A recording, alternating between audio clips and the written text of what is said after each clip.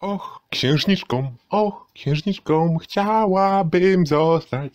Księżniczką. Witam, nazywam się Shinobi. A w dzisiejszym anime, którym opowiem wam, będzie Princess Principal.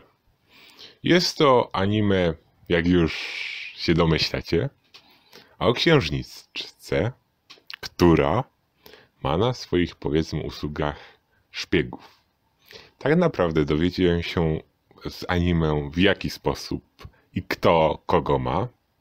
Oczywiście mały spoiler, uwaga, co mówiłem przed chwilą. Nie ostrzegłem was niestety wcześniej. Więc możecie pominąć i zapomnieć o czym mówiłem, ale kontynuujmy. Oglądacie tytuł Princess Principal. Pewnie jakaś bajka taka dla dziewczynek. Pierwszy odcinek kończy się, że główna bohaterka używa by pewnego narzędzia, którego nie wolno używać na wyrazu na YouTubie.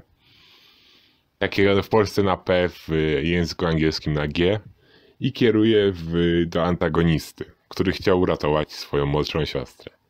Więc wiedzcie, że na pierwszy wydaje to się takie różowe, kwiatkowe, ale to jest dość ciężkie anime nawet. Wiem, wcześniej było Higurashi. No, Higurashi, pierwszy odcinek. Hi, hi, hi, hi, hi. Princess Principal. Od razu jedziemy z ponurą akcją, taką szpiegowską. Więc jeżeli lubicie szpiegowskie, takie filmy, trochę oczywiście wiemy, że zawsze główny bohater wygrywa, jak to w każdym anime.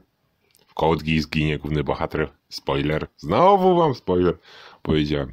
Ale polecam wam to anime. Shinobi, lajka, daj suba.